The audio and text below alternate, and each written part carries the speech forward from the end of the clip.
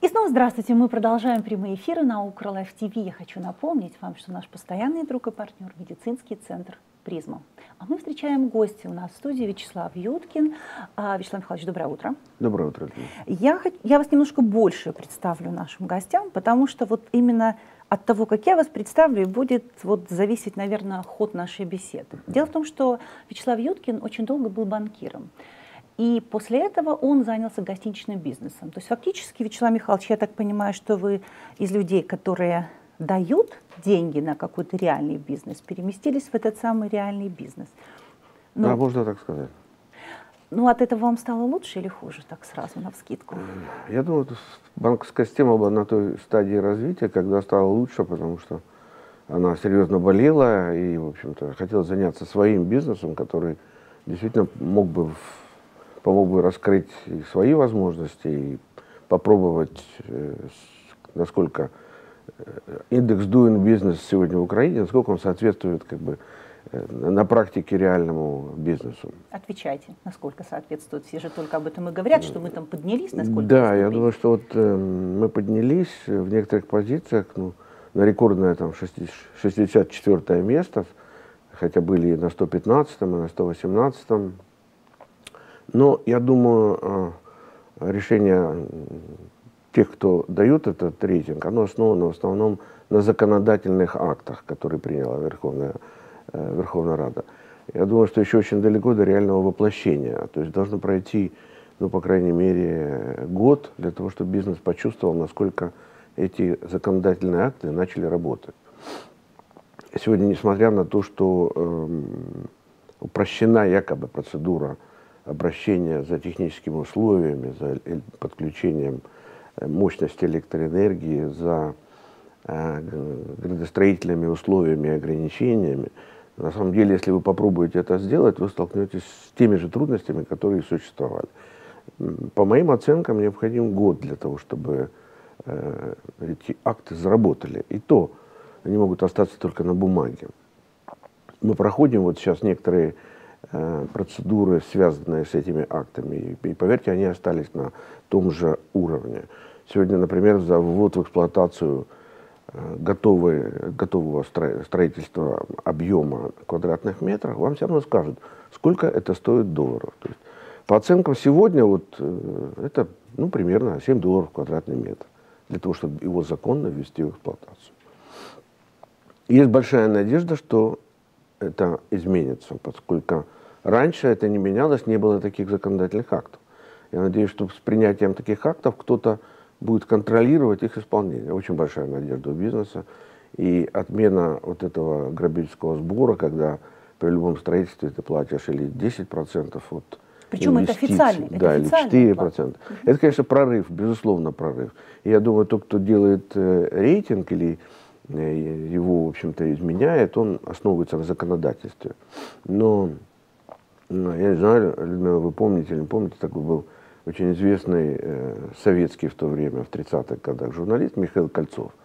Э, он, он делал очень просто. Он э, перевоплощался журналистов, э, тогда таксиста, продавца, э, директора, и э, на протяжении полгода влезал в шкуру и, и просто писал об этом. Вот, к сожалению, эта методика, она настолько удачно работает. Кстати, в Соединенных Штатах Америки ну, в отношении спецслужб эта методика применяется. Она вскрывает все язвы общества, раскрывает проблему и, э, в общем-то, показывает, насколько э, соответствует принятый акт реальным условиям ведения бизнеса. Я при вот не понимаю, почему наши правоохранительные органы или, допустим, наши э, сотрудники Кабмина не пойдут по пути создания какой-то фирмы, которая бы реально получила земельный участок, прошла всю эту процедуру. Затем она попыталась бы ввести, получить условия, потом ввести его в эксплуатацию и на деле посмотреть, насколько реально мы стоим на той почве, которую, которую как бы радуемся в отношении оценок Doing Business. Ну, я даже не знаю, что Рази... сказать. Разительная была. Разительная. Поверьте мне, разительная. Взяток много просят, нет? Взяток по-прежнему очень много. Очень много. Вот что такое взятка? Это, по сути, перераспределение ренты. Люди, люди которые ну, не... можно благородно да, назвать, я понимаю. Люди, которые ничем не занимаются, и они хотят зарабатывать. Но ну, с позиции должности они зарабатывают. Я думаю, что когда Украину называют самой коррумпированной страной в мире, абсолютно ничуть не ошибается. Ну, конечно, мы не знаем реальной ситуации там, в странах Латинской Америки, в Африке. Но, но обидно, когда одна из европейских стран, в к ней приклеен такой ярлык, от, отмыться от которого очень тяжело, очень тяжело. Реально сегодня все равно это работает, это действует с осторожностью, с какой-то безо... повышенными мерами безопасности, изощренностью, но это продолжает работать, безусловно. У вас сейчас сеть отелей, и вот для меня отели это от того, как они работают, как они строятся, как заявляют, запускаются в оборот все новые и новые какие-то проекты. Для меня это символ того, что вот экономика работает. Угу. Вот вы мне скажите, пожалуйста, работает ли украинская экономика, если посмотреть на вот то, как развивается ваш отельный бизнес? Можете ли вы сказать, что, я не знаю, там, туризм стал процветать, или там бизнес-активность какая-то увеличилась, что приезжает куча бизнесменов, куча каких-то проектов, которые могут реализовываться? Или по-прежнему это все так же, как и было? Потому что вот недавно мы тоже говорили с Олегом Устенко, советником президента, он говорит о том, что по-прежнему даже вот иностранных инвестиций в страну очень мало на самом деле заходит. И вот в этом смысле вот развитие этого гостиничного бизнеса показатель ли это каких-то, какой-то инвестиционной активности или все-таки нет?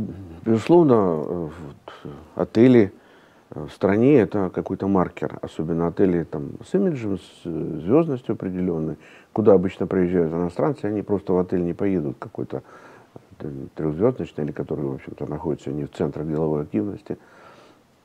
Безусловно, вот в этом году ситуация достаточно разно отличается. Все зависит от э, экономического климата в конкретном городе, регионе, ну, может быть, в целом стране тоже, хотя меньше в стране.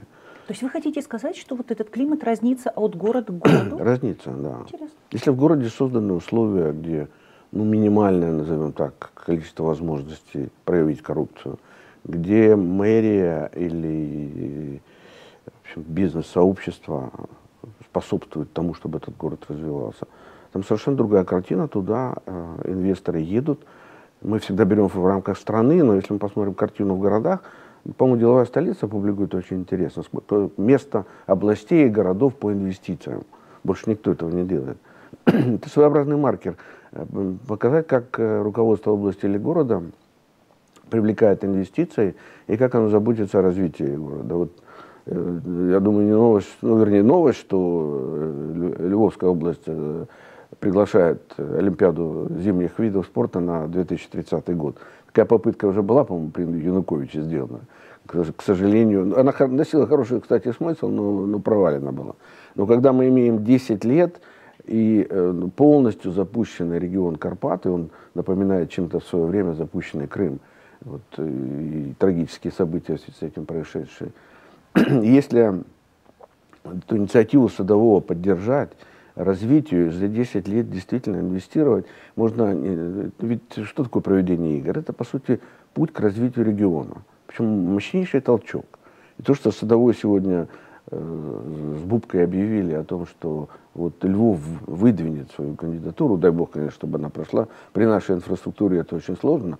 Может, но Олимпийский комитет тоже смотрит на страны для того, чтобы вспомнить ситуацию с евро, для того, чтобы дать толчок для развития.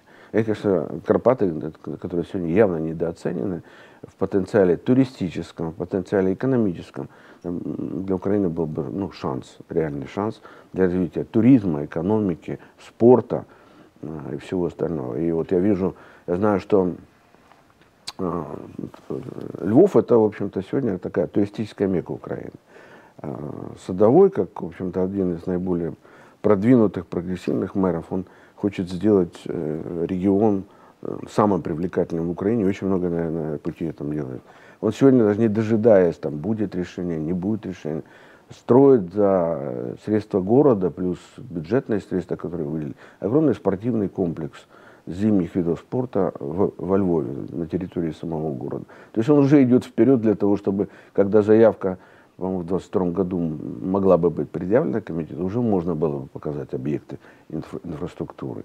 А э, гостиницы, которые возникают в Львове, э, экономические условия, которые созданы для инвесторов, они позволяют говорить о том, что этот регион идет впереди других в развитии туризма, отельного бизнеса, экономики. И на деле, в общем-то, воплощает то, что индекс doing business как бы пропагандирует. Вот во Львове когда-то, когда мы сдавали отель, кто-то попытался там намекнуть на э, какие-то какое-то распределение ренты. К этому. Да, хорошо. Вот. Ну, зная мэра и говоря о проектах, как бизнесмен, я прихожу к нему, рассказываю, что мы планируем. Я пришел к нему, вопрос был решен за 20 минут. Но вся регистрация просто согласно законодательству, никто даже слова не сказал. И если бы это было в других городах, вот особенно в Киеве, мы понимаем, что инвестиционная привлекательность города повышилась бы в разы. Вот поэтому как бы, все зависит от конкретного региона, от обстановки там, людей, которые занимают руководящие должности и влияют на развитие экономики. Послушайте, ну вот о Закарпатье-то говорено очень много, но там же совершенно катастрофическая инфраструктура. Да. Сколько миллиардов на вскидку потому что вы же как банкир, вы приблизительно так можете оценить, да? Банкиров, наверное, бывших не бывает, да, я так понимаю. Не вот. бывает. Не бывает, да, об этом речь. Вот сколько приблизительно миллиардов нужно вложить вот в Закарпатье, чтобы оно напоминало, ну, хотя бы какие-то, ну, пусть там даже не, не, не немецкие, там, какие-то курорты, может быть, даже не итальянские. Я, я думаю, что можно примерно это оценить. Я думаю, что если говорить, там речь больше идет, конечно, о Прикарпатии для э, этого, хотя Львовщина тоже активно там задействован. Наверное, и объекты в Закарпатье. Я думаю, что не меньше 10 миллиардов. Не меньше 10. Ну, возможно, с учетом того, что зимние виды спорта все-таки требуют ледовые арены, требуют э, спортивных э, комплексов серьезных. 12-15 плюс дороги. Конечно, дороги, дороги сегодня там это самое главное. Ну и реальные отели, кроме Буковеля, вы не найдете там отель, который бы э, можно было приравнять, ну, хотя бы там, даже к серьезным европейским трем звездам. Почему так случилось? Ведь это же абсурдно выглядит на самом деле, что украинцы не ездят в свои собственные ну, отели, в свои собственные курортные места, а едут в другие страны. И даже ну, в какие-то трехзвездочные отели едут, там, в Италию, в Германию. Да, да. да Кстати, еще? в Италии вообще понятие звездности как таковое отсутствует. Ну, да, там, когда вы приезжаете в пять, это может быть все две. Вот. Ну, они не заморачиваются на этом абсолютно. Случилось то, что случилось с Крымом, недооценка возможностей своих регионов. Ну, когда все, все руководство, все чиновники где-то отдыхают, никогда не отдыхают на, своих курортах, это тоже как бы э, является определенным маркером. Ну и отсутствие финансирования полное. Страна вся в долгах, вы посмотрите, даже сегодня. Поэтому если, если это ну, как бы прогноз на 10 лет, страна может собраться это сделать. Но, но действительно, развивая Карпаты, по сути, вся Украина выиграет от этого. Но вот сегодня, вот этот свежий пример, вот, Э, есть потенциальные инвесторы. Они хотят что-то строить в тех же Карпатах. Вот я вам приведу самый свежий пример.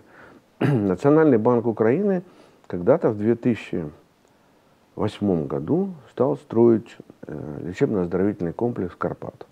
В самом центре Еремчи, в уникальном уголке такой территорию в 3 гектара мог получить только Национальный банк, на берегу речки, в границе национального заповедника – Проект, выполненный архитектором Марченко, ну, замечательный.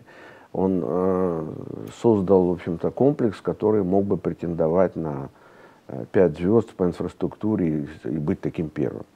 Национальный банк строил, естественно, для себя. Ну, для он, своих работников, в смысле? Да, для своих работников. Хорошо живут. Да, ну неплохо. Они построили один корпус на 5 номеров для членов правления. 2000 квадратных метров, 5 двух уровневых апартаментов и одни апартаменты для председателя.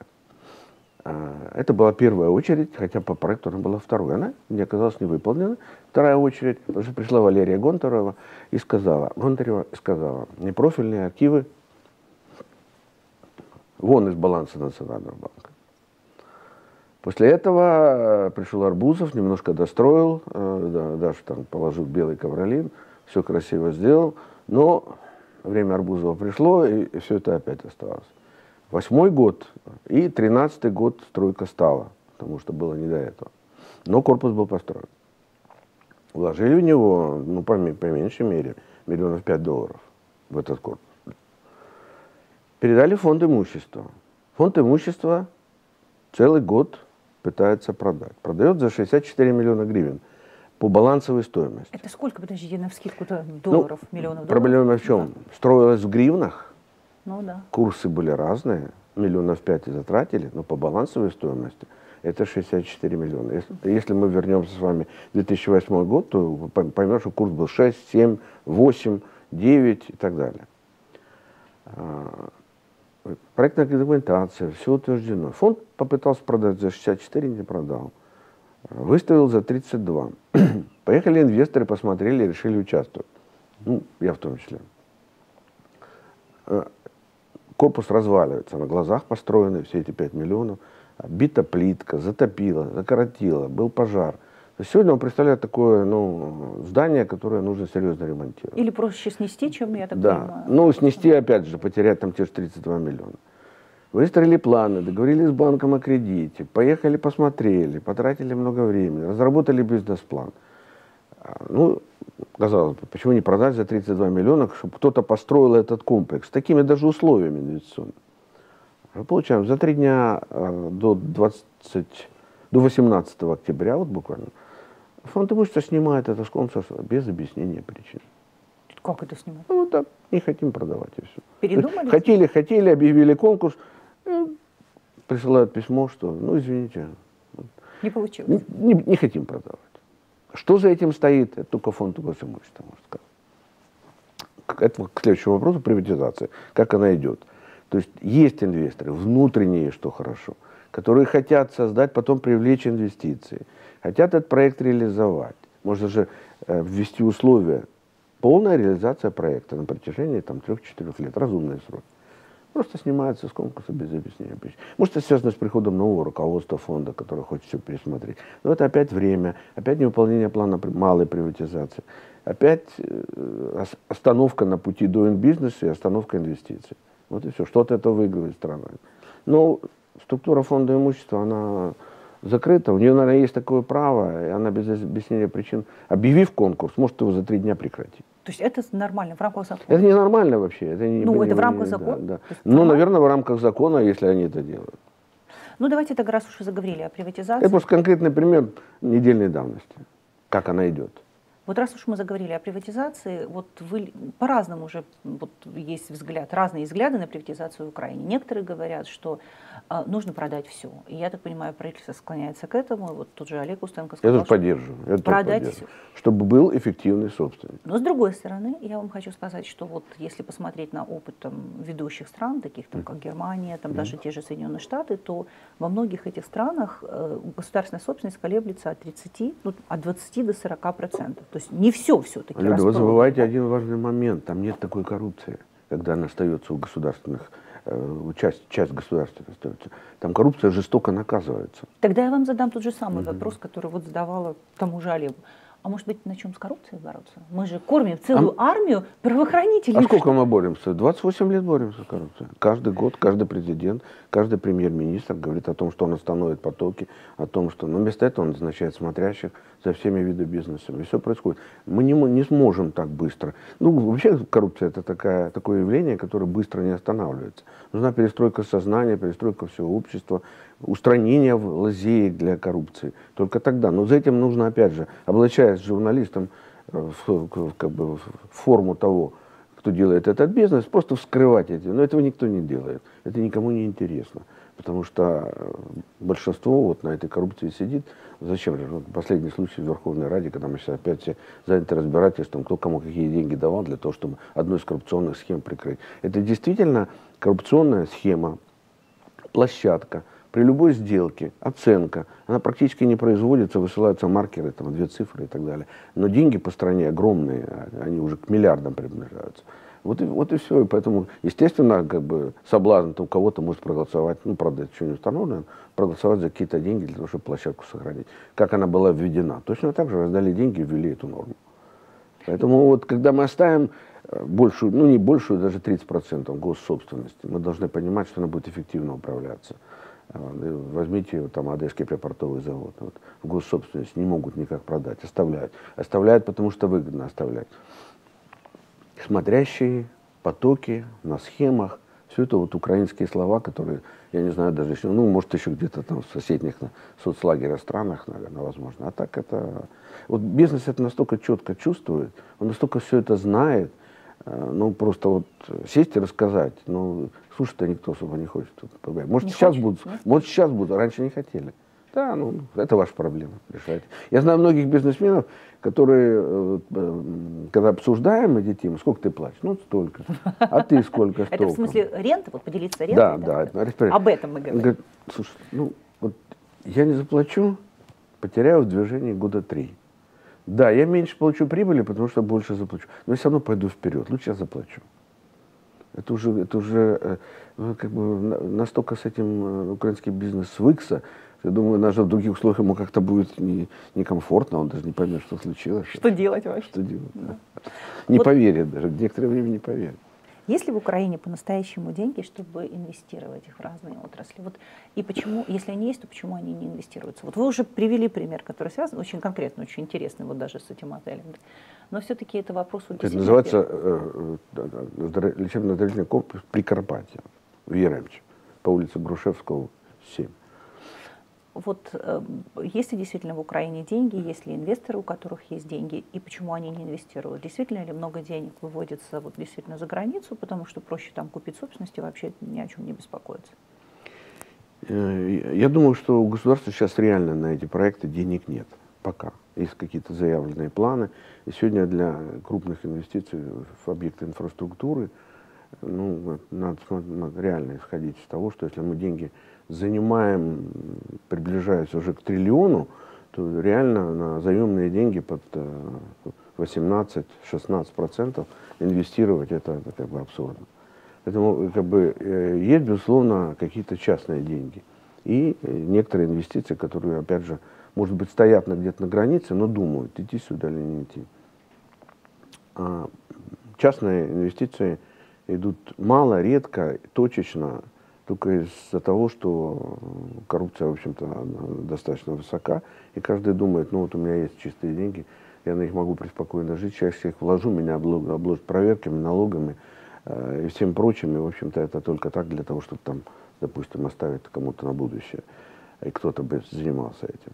Реально, если создать комфортные условия, мы можем привлечь очень большие внутренние инвестиции. И э, вот то, что ряд законов, которые приняты, они, конечно, правильные, э, и надо, чтобы они заработали, не остались на бумаге. Вот принять это, это даже не полдела, это 10%. А контролировать их исполнение, это самое главное. И тогда, э, я думаю, что наверняка, если мы возьмем корзину 100% э, инвестиций, наверняка мы увидим э, при условии облегчения ведения бизнеса в Украине э, процентов 30 украинских инвестиций собственных. Потому что, э, ну, безусловно, украинские бизнесмены лучше чувствуют природу ведения бизнеса в Украине и понимают привлекательность объектов, чем иностранцы. Любой иностранец всегда нуждается в каком-то консультанте, которого он привлекает из украинской среды и который, ну, как бы, как его называют, бегуновкой, который обходит все эти инстанции и разговаривает. Но когда он приходит к, к- к иностранному инвестору, объясняет, что тут надо дать, тут надо тот бежит без оглядки и говорит, ну, я этого не понимаю, потому что мои акционеры этого не поймут там за рубежом. И мы таких примеров э, массу. И с метро, и с Икеа, и в истории много украинской это ведения бизнеса, таких примеров. К сожалению, эта история, вот, ну, дай бог, чтобы она прекратилась, но она пока не прекращается. Поэтому э, мы стоим, наверное, на, на каком-то, ну, может быть, все надеются на какой-то каком-то рубеже 2020 года, когда э, правила игры изменятся. И тогда откроется вот эта форточка для инвестиций. Э, сегодня в мире много денег, особенно инвестиционного характера. В Украине их мало. И нам очень важно их сюда завлечь. Для этого вот эти шаги надо осуществлять. Налоги это проблема или нет? Налоги? Да, налоговая система, которая есть. Я думаю, она, э, в общем-то, не худшая в Украине. Другое дело, ее надо облегчить, сделать единый налог, который уплачивался бы, по- потому что сегодня столько налогов, что, в общем-то, нужно бухгалтерский штат иметь для того, чтобы это все контролировать. Ну и, безусловно, проблема возврата НДС, она улучшилась, но далека еще от совершенства. Это абсолютно не автоматическое. Это затягивание, это нарушение сроков, это суды. И То есть Укра- по-прежнему та же история. Да. Она, нет, она не, не та же. Раньше это был кошмар, его просто никогда не возвращали. Раньше его не могли. Сейчас при- применяются различные уловки. Э, типа вот вы подали декларацию размещения, вам под каким-то надуманным предлогом возвращают. Это вот э, для того, чтобы экономить средства из бюджета, потому что их не хватает. И эта канитель может продолжаться э, полгода. Потом вы идете в суд, это еще год. И таким образом ваши средства вымываются на полтора года. И все это правда. Все, все обращения на горячие линии, жалобы, они просто остаются без ответа. Все это не работает. Опять возвращаюсь к тому, почему не попробовать, не посмотреть, как это проходит. Вот даже новому руководству налоговой. Взять конкретный пример. Посмотреть, как возвращается малому, среднему бизнесу. С крупным тяжелее, там быстрее возвращается. Как возвращается НДС. Он возвращается очень-очень так, ну, с потугами. Я думаю, что лучший срок это месяцев 7-9. Вот, а обычный вариант это год-полтора. Через суды в том числе. Опять же, с пеней для государства э, за задержку НДС. Никто не анализирует это. Теперь давайте поговорим немного о кредитах, потому что это mm очень интересная тема. Вот а, начнем, наверное, с возможностью занимать за границей. Есть ли у украинского бизнеса такая возможность? Потому что когда мы говорим о санкциях, которые действуют против России, многие говорят, что главная для них проблема это то, что они не могут занимать где-то там за рубежом. Есть ли вообще для украинского бизнеса проблема занимать деньги в каких-то иностранных банках? Безусловно, есть очень большая. Потому что, как правило, украинский бизнес, за редким исключением очень крупного, который размещается на фондовых площадках Европы и мира, ну, это мы назовем максимум 10 компаний, которые способны разместить свои э, банды или деривативы, э, ценные бумаги и, привлечь деньги. Но э, все очень осторожно смотрят на Украину. Мы помним пример компании МРИА, Э, агрохолдинга огромного, который привлек сотни миллионов долларов на биржах, Варшавской бирже, Американской бирже. И э, все это привело к тому, что были куплены яхты, самолеты, и холдинг лопнул. И э, пул инвесторов, там более 100 человек, купивших эти бумаги, э, до сих пор существует. Комитет, по сути, защиты прав кредиторов, он существует, и э, на Украину смотрят ну, очень-очень аккуратно. Возьмите ситуацию с агрохолдингом Бахмутюка, с банками, которые упали, завалились, и с ценными бумагами, э, которые, опять же, как бы не котируются. Да, наверное, Косюк может с Мироновским хлебопродуктом привлекать сегодня, потому что он уверенно ведет бизнес, и ему доверяют, и его продукция разлетается по, по, по всей Европе. Вот. Он, он получает огромное возмещение, конечно, и дотация государства, но такие компании могут размещаться, как исключение. Но мы, э, пальцев в руке хватит на, для того, чтобы перечислить, кто сегодня может занять э, деньги за границей. Естественно, и в Украине малый и средний бизнес вряд ли может занять бизнес. Вот, вот это тоже хороший вопрос. Да. К этому давайте перейдем. И тогда вопрос, где же вообще заниматься? Да-да-да, вот это, это третий вопрос. Да. А, ну вот сегодня, вот вчера, не буду называть банк, вчера была встреча с руководством одного из банков. Я спросил, у нас есть интересный проект, э, э, как бы реконструкция одного из отелей в небольшом районном центре, но достаточно хорошо развивающемся. Говорю, нам нужно ну, миллионов 25 гривен для того, чтобы это здание мы выкупили за собственные средства, но полностью реконструировали превратили его в современное. Вот, вот минимальная ставка, как вы думаете, какая была названа? Минимальная. Ну, я даже, ну, не знаю, ну, 25, ну, может быть, нет? 22-24. Ну, это еще ничего. Могли бы и 35 попросить. Вот ну, это нет, я вам 30, как бывшему, нет, 35, не бывшему, 30, банкиру-то. 35 гривен никогда не было, надо, не было? надо откровенно сказать. Нет. 28 э, это был предел, сам, самые такие, такие инфляционные периоды. Но 22-24 сегодня при отсутствии как бы, девальвации, а даже револьвации, ну и представьте себе бизнес, который должен давать тогда доходность, ну, по крайней мере, 40 годовых для того, чтобы платить налоги. Это нереально. Поэтому, э, когда мы сегодня говорим, почему не развивается экономика, почему стоит бизнес, э, мы упираемся в ставку. А ставка сегодня, опять же, зависит от ставки рефинансирования. Ставка зависит от э, ставки привлечения на внешних рынках, те же ВГЗ.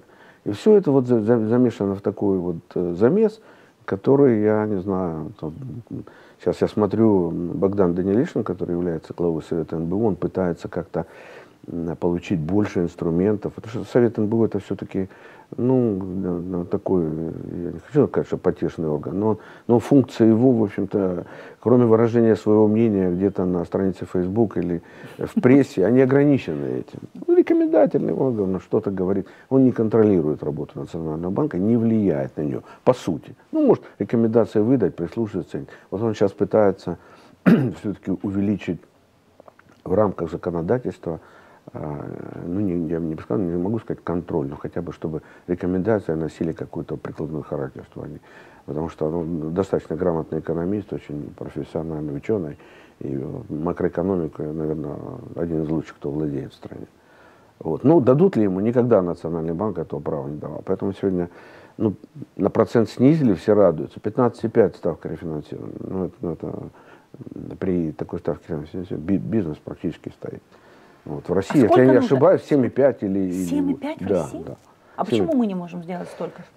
Ну, вот это тайна за семью печатями. Национальный банк очень строго ее охраняет и говорит, что экономика еще не готова. Она еще не готова к таким ставкам. Банки не будут выдавать. Ну, а вот... А критерии-то какие? Как они определяют, как не готовы? Или до сих пор неизвестно? Не, это тоже тайна. Мало, мало кто об этом знает. Мало кто. И мы никогда не поймем. А зачем Национальному банку, в общем-то, особенно э, волноваться об этом. Вот сегодня в обороте находится, я думаю, уже около триллиона э, объемом на триллион государственных облигаций внутреннего займа. Представляете сумму, триллион. Да? И 300, если не ошибаюсь, 357 миллионов миллиардов гривен в них вложили банки. Они не несут рисков, они не занимаются никакой деятельностью. Зачем им кредитование? Завтра заемщик что-то, вдруг у него случилось, у него какие-то проблемы с кредитом. Ты просто э, вкладываешь деньги вкладчиков, все свободные деньги, получаешь свои 16-17, ну пусть сейчас там 15,8, хотя было и 20, и 23 процента, которые э, абсолютно ну, в системе налогообложения не участвуют, потому что банка есть расходы, доходы, все это как бы между собой перемешивается. И зачем тебе выдавать кредит? Общаться с заемщиком, рассматривать его документы, изучать проектную документацию. Все это тормозит экономику, но вот такой мыльный пузырь, он надувается, надувается, надувается. Раньше он может лопнуть? Он лопнет? Некоторые говорят, что это очередная какая-то там пирамида, я не знаю. Раньше, я помню, э, всегда объемы заимствований утверждал Верховный Совет. Даже вот в самые такие времена, ну, при Ющенко обязательно, при даже при Януковиче объем внешних заимствований, внутренних заимствований всегда определялся, потому что ну, надо понимать, сколько денег потом надо выплатить на проценты. Сегодня, э, представьте себе, триллион, триллион гривен, триллион гривен, э, под проценты средняя эффективная ставка, наверное, где-то 16. А если взять предыдущий период, она где-то ближе к 17,5. И э, вот, э, там годовых 170 миллиардов только на Э, по обслуживанию долга, внутреннего, не внешнего. И э, 100 миллиардов из них, 100 миллиардов гривен, вложили иностранцы, обменяв валюту на эти 100 миллиардов. 100 миллиардов гривен. Это огром, огромные деньги, которые, э, ну, Украина заимствует за рубежом, если это не Международный валютный фонд, в среднем под 8,5-9, что тоже является для, маркером для страны, которая э, относится к emerging markets, то есть развивающимся рынкам. Россия, кстати, которая под санкциями находится поменьше, по-моему, Поменьше, да, гораздо меньше. Рейтинги другие. Рейтинг Украины только сейчас, международные рейтинги агентства только сейчас, по-моему, дали B, B+. А раньше это было минус. Это, это влияет на ставку, потому что это показывает на риски инвестиций в эту страну. Кстати, возвращаясь к инвестициям. Вот они риски. Но э, сотрудничество с Международным валютным фондом очень важно. Но долг, долг действительно раздувается. Вот э, реляция о том, сколько привлечено каждый, каждый месяц, никто не говорит, а сколько надо отдать. А 2020 год для возврата долгов один из самых критичных. Формула Эреська может сработать. Мы ничего не знаем Например, Формула Ерейска, остановитесь на ней угу. немножко, если можно. Это же очень интересно. Ну, как только экономика Украины начинает расти, по-моему, больше 4%, мы начинаем как бы по повышенным ставкам возвращать то, что отсрочили. Мы пока отсрочили, но как только экономика начнет развиваться в соответствии с планом Гончарука, э, мы как бы станем процветающей страной и должны будем заплатить больше, потому что не смогли вовремя заплатить меньше. Она в свое время была спасательным кругом. Можно, наверное, все-таки было найти другой круг. Но сегодня, и все тогда радовались, ну вот все, не будем платить, и, э, дефолт не объявят. Но сегодня, ну, в следующем году она может очень остро, остро. Сегодня тоже, к сожалению, об этом мало говорят. Мало очень говорят, хотя это тема. Потом мы абсолютно ну, увели в тень вопрос э, возврата э, трехмиллиардного долга России, который взял Янукович. Одно время были суды, мы какой-то суд проиграли, обжаловали. Сегодня эту тему абсолютно замалчивают. Вообще, Но они висят. Эти они висят, конечно. Решение не принято. Если его признают идиозным долгом, что было бы для Украины, опять же, спасательным кругом, это да. А если это э, признается, в общем-то, обязательством, подлежащим оплате, это усугубит ситуацию долговой нагрузки. А что такое одиозный долг? Одиозный долг – это долг, признанный, который признается таковым, не подлежащим возврату, принятый или под давлением каких обстоятельств, или э, в связи с тем, что э, условия займа были неправомерными. Там есть ряд положений. Такие факты, такие случаи есть. Э, в юридической практике. Поэтому вся надежда Украины на признание этого долга. Ну, что, мол, Янукович, по сути, его получил, якобы, по сути, и вывез его. Из них там 2 миллиарда называют. Но это надо доказать в суде. Надо показать какие-то документы, типа там черной бухгалтерской книги или еще что-то. Будет ли это сделано? Но об этом процессе полный молчок. Вот я, все, я следил, следил, потом смотрю, что все, все замолкло. Должны или не должны никто, но э, вот, когда вы обращаетесь к данным сколько же наше государство должно, вы там не видите этого долга, потому что он в судебном разбирательстве. Куда он куда дальше приведет, но потенциально он может выстрелить для нас. Вы уже вот заговорили о дефолте. Вообще вот, э, не, вот мы в прошлом году активно обсуждали, что ну, а может быть дефолт. Возьмем дефолт, никому ничего не будем отдавать. Вот вы рассматриваете это как вариант или очень сильно пострадает вот даже Нет, для Украины, для Украины это не выход. Почему? Э, при, призывы дефолта, которые Коломойский обычно об этом часто говорит, да. Ну, потому что это на 5-7 лет отбросит страну в развитии. Ни о какой программе развития, о которой мы сегодня говорим, речи быть не может. А, сотрудничество с Международным валютным фондом будет прекращено. Ни один инвестор в Украину не придет. Репутация Украины будет, ну, я не знаю, хуже, хуже, хуже некуда, наверное, так не придумать. А это, сейчас? Это, это не... сейчас куда еще? Нет, сейчас есть. Все-таки Украина это emerging markets, это развивающийся рынок. Сегодня, я думаю, она на пороге опять прорыва какого-то, и дай бог воплотит все то, что декларируется. Далека, конечно, от э, либертанианства, о котором так много говорит команда Зеленского потому что сегодня в, ну, в бедной, нищей стране говорить о, о свободах без ограничений, это, в общем-то, наверное, фантазии э, нескольких людей из команды, но далеки от реальности.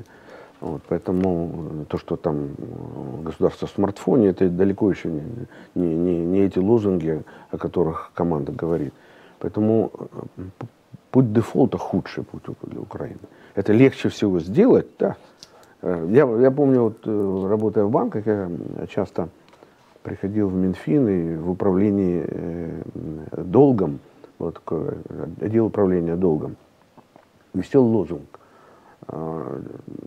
«Долги отдают только трусы». Да, вот, да вот, ладно, вот парадокс. Да, и туда заходили международные инвесторы. Это было вроде бы как смешно, но это был такой намек.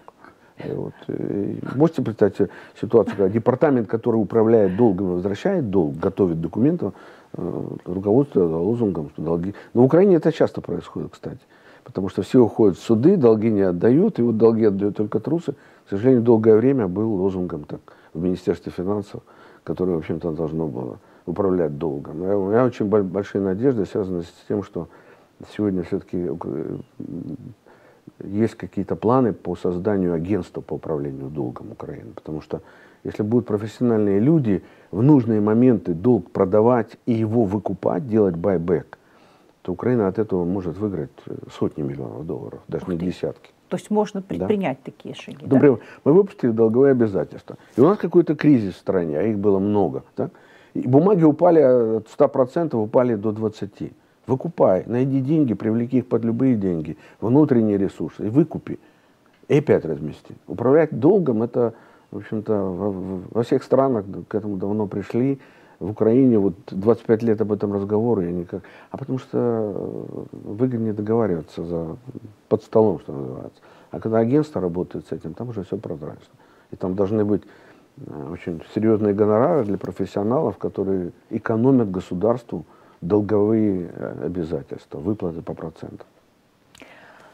МВФ, вот вы сейчас только вспоминали mm-hmm. о ВГЗ, я вот за вами прям записывала, э, и вдруг вы вспомнили сотрудничество с МВФ. Ну зачем нам то сотрудничество? Там цена вопроса-то какой-то несчастный миллиард долларов, да, или два миллиарда ну, долларов. Ну, речь идет сейчас о пяти даже. Ну, даже о пяти, но это же не на один год, на секундочку. Так зачем нам это МВФ? Давайте себе какой-то другой план построим. У нас вот по ВГЗ мы столько можем занимать, mm. что можем даже позаимствовать Международному валютному так фонду. ставка МВФ, она, а, ну, 2% годовых, а наша ставка 16%. Чувствуете разницу на, на, ну, да. на триллионе? Чувствуете ну разницу? Ну, да. Чувствуете, на триллионе, да? да. Это первый вопрос. Второй. А, сотрудничество с МВФ для любой страны, особенно развивающихся рынков, какие, к которым сегодня мы относим Украину, является своеобразным маркером. Нет сотрудничества, нет инвестиций. Потому что специалисты работают здесь по месяцами и оценивают состояние экономики страны и говорят, да, мы можем отдать займ этой стране, и вы можете надеяться, что это сотрудничество будет продолжаться. Как только стоп, уехала миссия, молчок, все, стоп инвестициям. Значит, тут там То не есть так. Прямая такая зависимость. Прямая зависимость. Поэтому, э, да, есть как бы меры непопулярные, ну, например, которые считаются непопулярными. Продажа рынка земли, открытие рынка земли. МВФ говорит, не будет этого. Почему это говорит? Оценивает с точки зрения перспектив э, наполнения украинской экономики деньгами и возможности выплачивать долги. Не закройте в эту нишу вот многие годы, которые мы не сможем гарантировать, что вы справитесь с планом экономического развития. Все, вот, все очень четко и понятно. Ну и потом надо быть откровенным, смотреть, это же деньги идут не, не на развитие, деньги идут на возврат долгов. Ну не будет этого транша. Мы гривну увидим э, и по 30, 35, и по 40.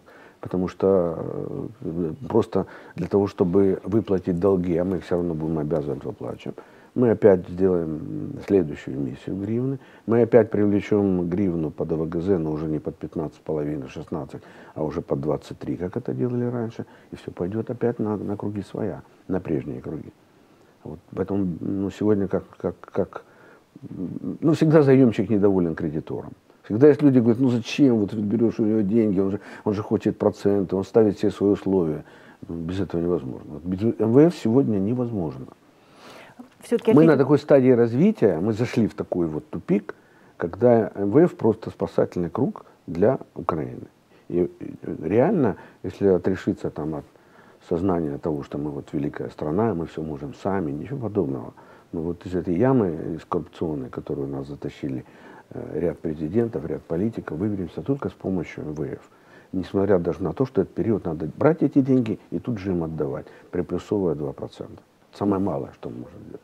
И по логике Украине, э, Украине надо было дать 10 миллиардов, да, но МВФ не дает. Мы хотели бы 50, на Да, мы хотели 50, но не дает. Но не дает. И не даст. Не дадут? Я бы хотела, чтобы вы все-таки ответили на третий вопрос, который вы сами себе поставили. Угу. Где же все-таки бизнесу занимать, а потом мы все-таки вернемся к ВГЗ, гривне и всем прочим вещам. Где же все-таки занимать украинскому бизнесу? Кредит, ну, кредитоваться, давайте так. Вот. Все нереально нигде. Надо это честно говорить об этом. Можно выдумать все, что угодно. Но сегодня делают бизнес только те бизнесмены, которые или в свое время прокредитовались там 2, 3, 5 лет назад под длинные деньги – или э, вытаскивают собственные ресурсы, возвращают их за офшоров.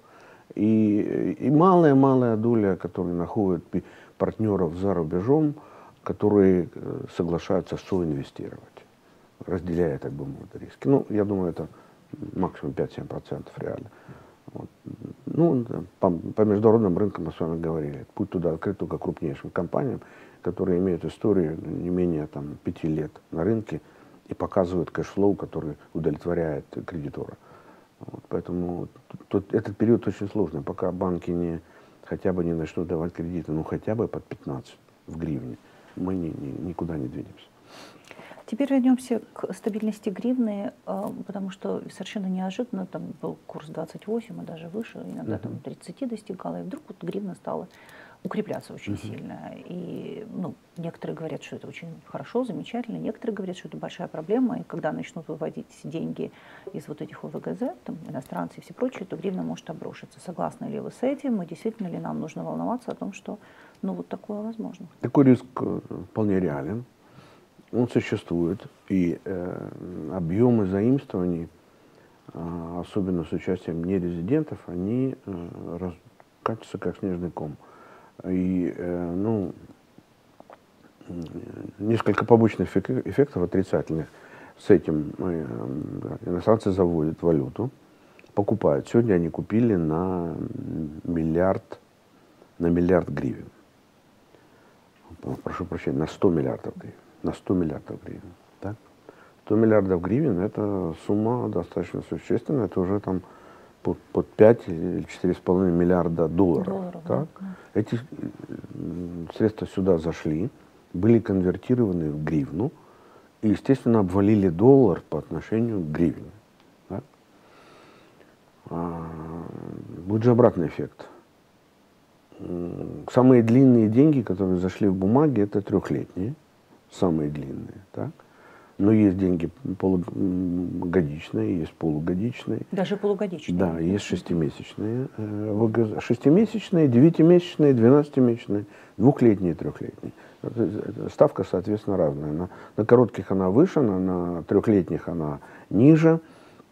Те, кто хочет сложиться на длинный срок и принимают риски гривни, они идут. Но это, как правило, банки и внутренние инвесторы. Э, иностранцы стараются все-таки быть в рамках годичного периода, не доверяя особенно гривне. Но вот представьте, начнется движение с 4 миллиардов назад. Так? Валюта будет э, покупаться э, за гривны, которые будут возвращаться с ОВГЗ. Хорошо, если это будут плавные периоды, и Министерство финансов наверняка планирует э, как бы сглаживать этот э, тренд. Но, безусловно, э, гривна будет падать по отношению к доллару ровно настолько, насколько будут выводиться. Это же деньги не вечные.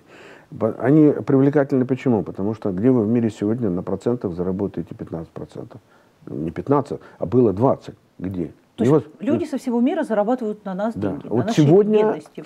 самые, вот тоже надо сказать, самые дорогие и привлекательные бумаги – который выпускает государство, номер один по привлекательности – это Украина. И это плохая новость. Это плохая новость. Да. Очень плохая, это новость. плохая новость. Потому что все инвесторы стремятся быстро сделать деньги. Ну, если э, мы сегодня должны реально говорить, что э, в некоторых европейских странах, в частности в Швейцарии уже и Франция близка к этому, если вы получите свои деньги на счет и купите бумаги, это будет минус 0,5. За управление вашими деньгами вы еще должны банку заплатить. Вы теряете. Поэтому, э, вкладывая деньги в банк, э, вы будете платить за это э, определенную сумму вознаграждения банку. За то, что там есть штат, за то, что они хранят эти деньги, управляют, сохраняют. А инвестор, приходящий в Украину, сегодня получает 16, 17, 18. Слетаются, как вот мухи на мед. Так? Вкладывают. Вот. Но будет же обратный эффект. А почему идет на это Министерство финансов? Потому что Украине МВФ больше не даст, потому что разместить на рынках больше нельзя. Риски и объемы заимствований. И выход какой? Это, по сути, как бы, ну, не знаю, нельзя сказать на глоток воздуха умирающего, но, ну, во всяком случае, это, это, это очень опасно. Ключевое слово «умирающий», вот я услышала здесь даже. Это, это просто опасно. Вот 4 миллиарда. Ладно там с внутренними инвесторами, как-то будут разбираться, перевкладывать. Вот. Национальный банк покупает огромное количество бумаг, э, загружая деньгами тоже Министерство финансов. Банки хранят 350 миллиардов гривен. Всю свободную наличность. Ну, когда этот период кончится. А кончится, знаете, когда? Когда государство поймет, нет, вот мы каждый месяц, каждый аукцион снижаем ставку. Вот сейчас уже 15,5, вчерашний аукцион. Ну, давайте ее сделаем там 10, 8, 9. Постепенно те, кто вкладывал, будут ну, выходить, выходить. А ведь эти бумаги еще и свободно общают, обращаются на рынке. То есть вы можете купить на год, а потом взять их продать. А, перепродать? Да, конечно. Ну, потеряв что-то, но перепродать до окончания срока. Свободный рынок обращения бумаг. Кстати, э, э, это инструмент для населения, потому что налог не надо платить. Но если вы посмотрите структуру э, баланса облигаций, которые выпущены, население купило на 6% из 100. Вот. Что, конечно, мизер. Население все равно с опаской в эти игры играет, боится вкладывать. Ну, уже ж ученые, да. да. Хотя, хотя инструмент привлекательный, новое правительство, новый президент, возможно, доверия больше.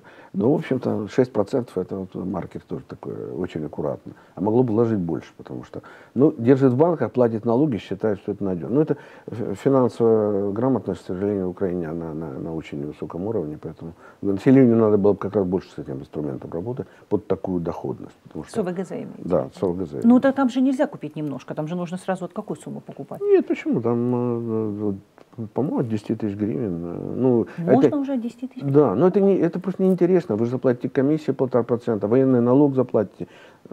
Все, все игры надо начинать от 100 тысяч гривен, от 100. Тогда это работает. Меньше это не работает. Больше заплатите комиссию и э, процедуру пройдете. Но это все равно совет тем, у кого есть 100 гривен. 100 тысяч гривен уже они Это серьезная сумма уже, ну, в общем-то, немалая. Но, ну, поэтому мы говорим о 6% населения. Да. Хотя я думаю, что это процент населения должен был быть, по крайней мере, 25 как во всех странах, потому что во всех странах свои бумаги э, физические лица вкладывают, вкладывают доверяют. Да? То есть это традиция? Да, ну конечно, американские бумаги. Сегодня по городу можете идти и видеть э, огромные плакаты, э, семинары обучения, как инвестировать физическим лицам в американские государственные облигации. Что это возможно?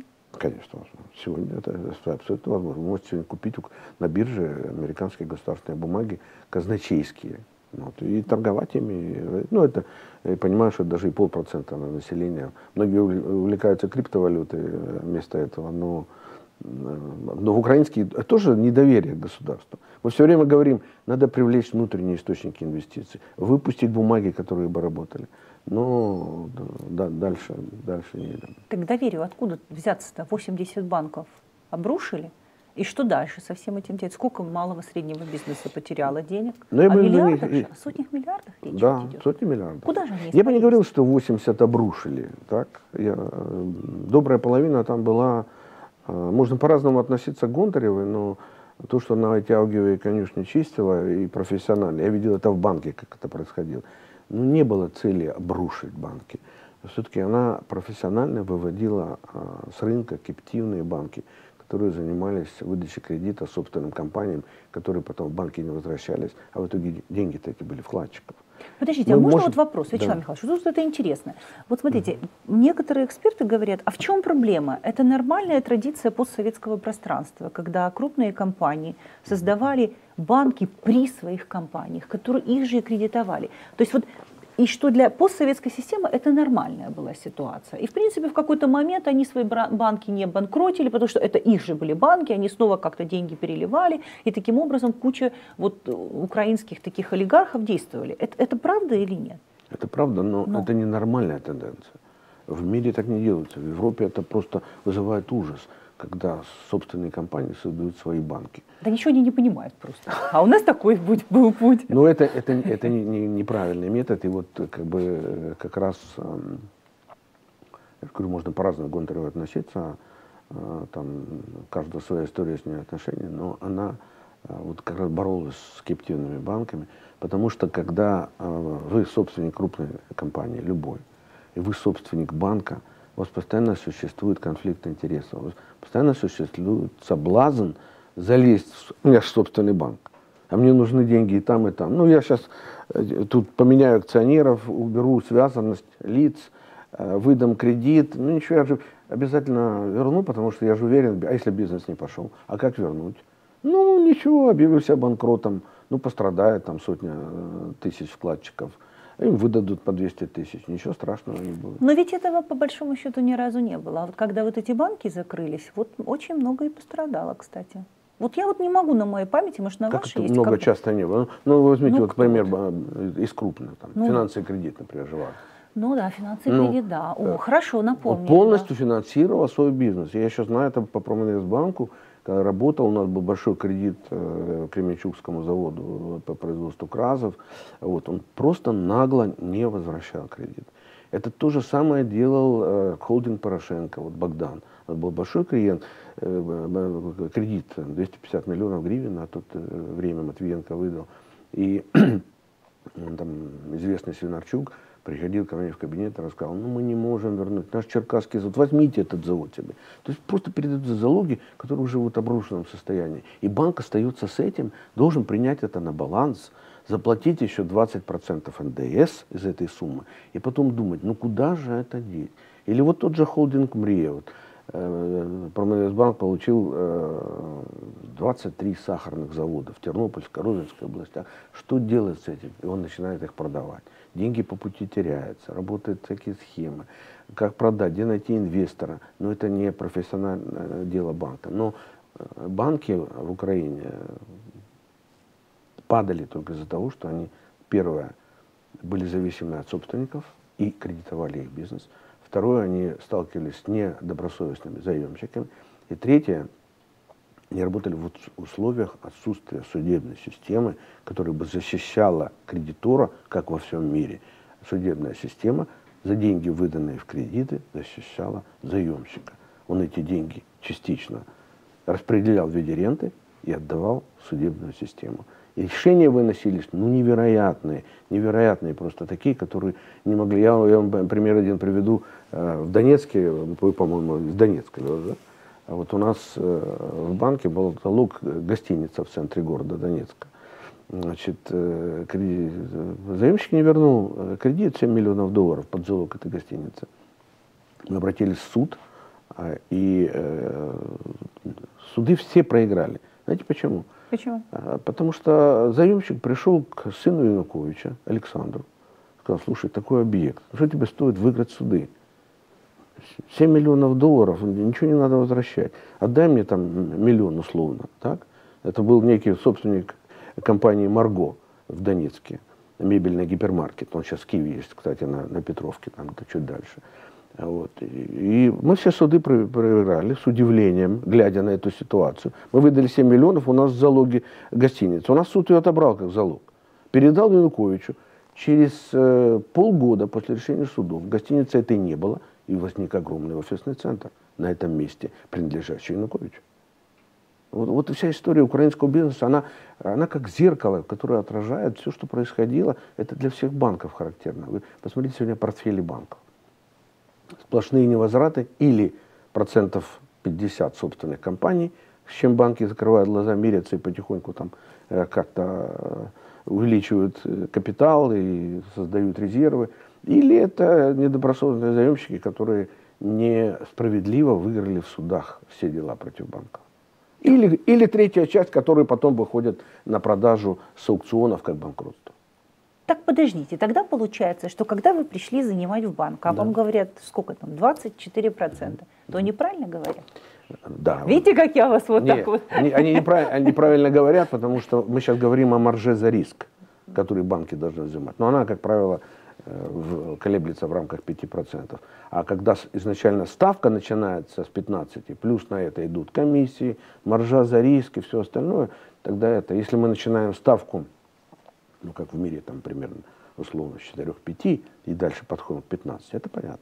Но когда это, когда это 25, ну, тогда бизнес просто останавливается. И он или работает за счет внутренних резервов, или не работает. Вячеслав Михайлович, спасибо вам огромное. Так интересно мы поговорили, даже не хочется отпускать столько у вас Об всяких... отелях меньше всего, кстати. Вячеслав Юткин был сегодня у нас в гостях, за что мы ему страшно благодарны. А вы оставайтесь с нами, мы продолжаем.